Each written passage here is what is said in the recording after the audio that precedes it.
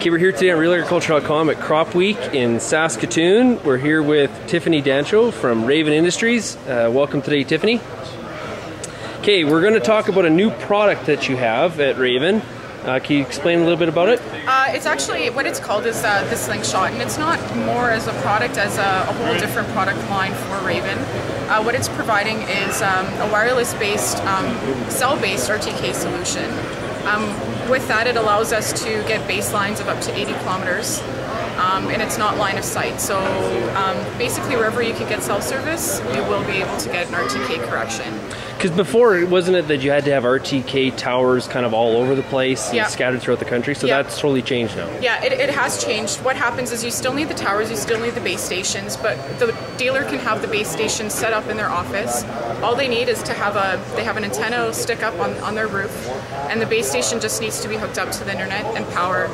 Um, the, the consumer, the, the farmer, what he'll have in his cab is uh, a, a modem like this. It's called Okay. a Blue Tree modem, um, and he'll just have two antennas.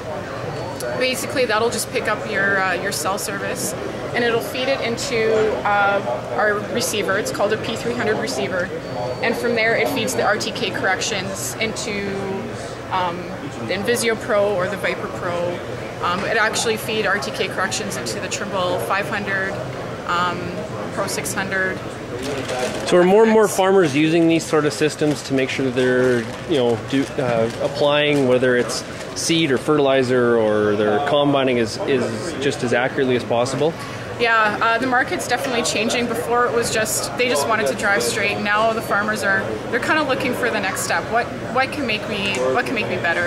Especially in Western Canada, which isn't really a an RTK kind of area per or it wasn't. Now it is. I mean, guys are looking to see between the rows and less compaction, and, and they really are focusing on that seeds uh, fertilizer placement um, less, uh, you know, going into canola. You, you're spraying canola five times sometimes, and you want to you want to impact the crop as least as possible. And RTK just allows us to do that. So where are we seeing farmers using RTK the most? Is it just at seeding time?